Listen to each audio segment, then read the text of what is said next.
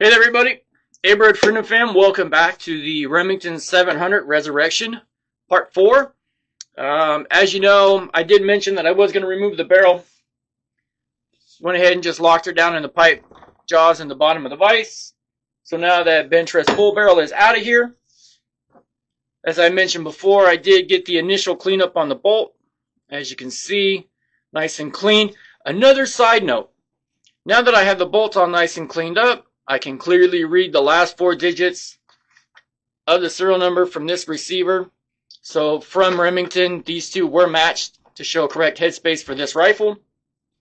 It's important to go ahead and, especially if you're buying a U700 and it's all original, go ahead and uh, double check that that serial number, the last four digits, is on your bolt body. Now, as we mentioned before, there was a lot of grime and gunk. This is an example of some of what's been pulled out so far using the good old GI bore solvent. What I did today with the receivers, I went ahead and this morning, about an hour ago, took some Q-tips, soaked them in it, went ahead and spread it across the gunkiest parts, such as the trigger area and the bolt release area. Now why? Because like we talked about before, hopefully you can see it. Try to catch the light just right. This old trigger is pretty gunked up and nasty, and all that's also in the receiver. I don't want that in the receiver. So after letting her soak with the good old bore solvent, all that crap literally just lifts right out. So going down into the magazine was pretty pretty gunked up.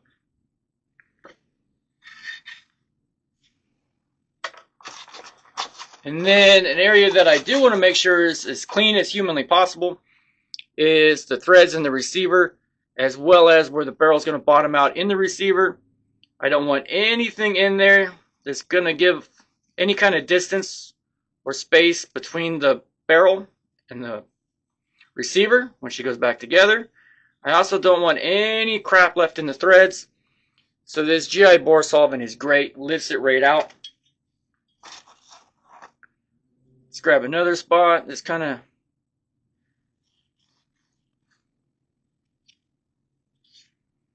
not going to bore you all sitting here q-tipping this whole receiver out.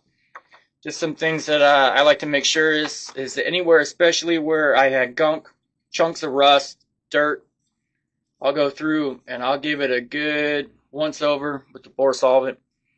And then I'll actually get in there if I was a pro, I would have done this already. But I'll take an AP brush and I'll literally go in and I'll scrub the barrel threads. I won't go in there with a steel brush. I go in with a nylon. And uh, I'll get the little side. Those bristles are a little bit stiffer. And I'll literally make sure those barrel threads are literally as clean as I can get them so I want everything as pristinely clean as possible before I reassemble. I don't want any false measurements for headspace. Maybe there's a chunk of grime or something stuck in there. I don't want any of that. And uh, definitely don't want any issues with a dirty bolt before assembly. I'm not going to worry about doing a high gloss polish. I just want it nice and smooth and clean. Bolt face is nice and clean. Bolt body is cleaned out good. That trigger is a gunky mess not even going to play with it. I have some other factory takeout triggers where customers have had Timneys put in. I'm going to do this on a budget as if you were doing it in your garage. So for part four, receiver cleanup will be finished today. Bolt body is finished today. Probably going to get the barrel ordered today. It's going to be a few weeks of lead time on the barrel, so part five will come up later.